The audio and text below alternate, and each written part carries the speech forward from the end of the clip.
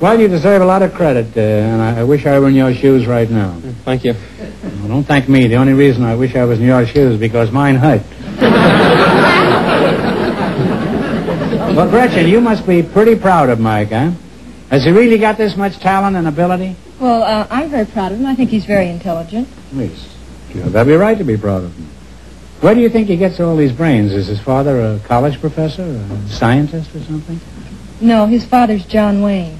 Oh.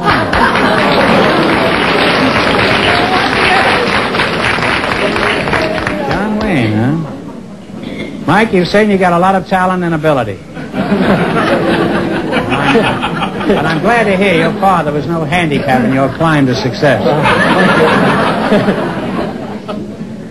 you know, it's always tough for a kid if the father is famous. How is it you're not a famous actor like your father? Have you tried acting? I tried it once. And you you retired? Well, yes, I retired. I had to give it up. Why was that? Well, I, uh, I don't know. I guess no talent. Oh, it hasn't stopped me. have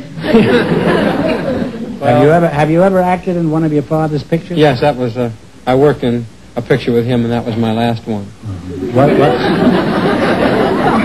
First and last. You couldn't even cut the mustard with your old man? Well, What kind of a part was it?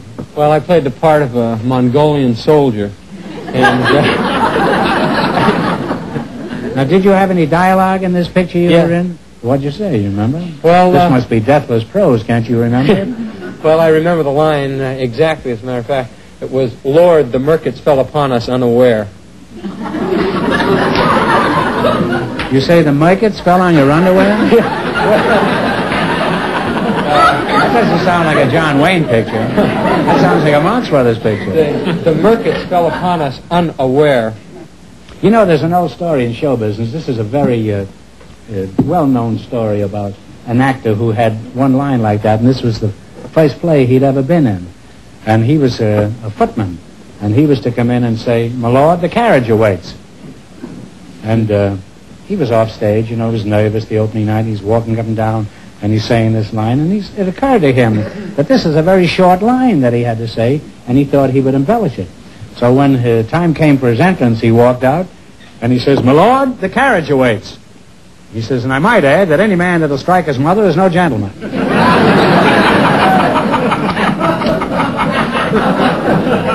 and they threw him out, of course. And by an odd coincidence, his father was John Wayne. well, Mike, I'm going to give you the same advice I give all newly married couples. Keep smiling and keep up the payments on the washing machine. now, you're very nice kids, and I have enjoyed talking to you. Thank you. Thank you. And now the time has come to see who is buried in Grant's tomb. now, you selected Mother Goose rhymes. Do you have any children? No. Well, how would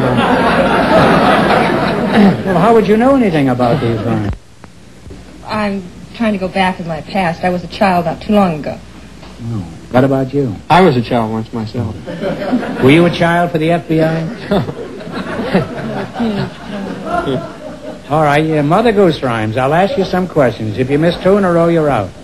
If you get four in a row right, you win a thousand dollars. Were you ever a child?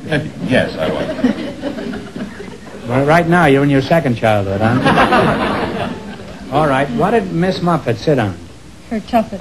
And you have one right. She had a lot of nerve, you know, sitting on her tuffet. she was sitting on her tuffet, watching all the boys go by.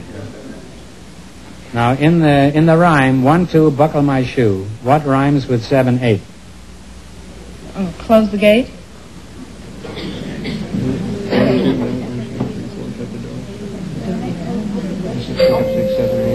Don't be late. I don't know. Uh, seven, eight, lay them straight. That's an old poker term. I don't know how that fits in Mother Deuce. Mother You Goose. uh, now have one wrong. Okay. All right. What did Simple Simon say to the pieman? Let me taste your ware. That's right. Now you have one right. Oh, good. In Sing a Song of Sixpence, uh, where was the Queen? In the, uh...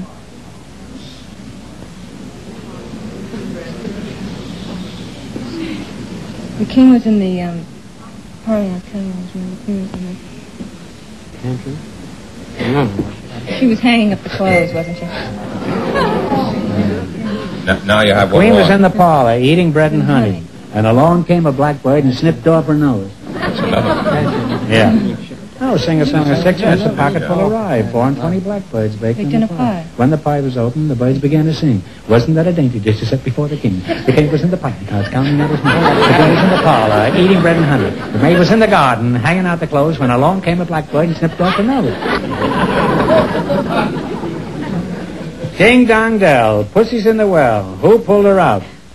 Uh, little Tommy Stout. Well, little Johnny style, but that's close enough. You now have one He was a fat kid anyhow.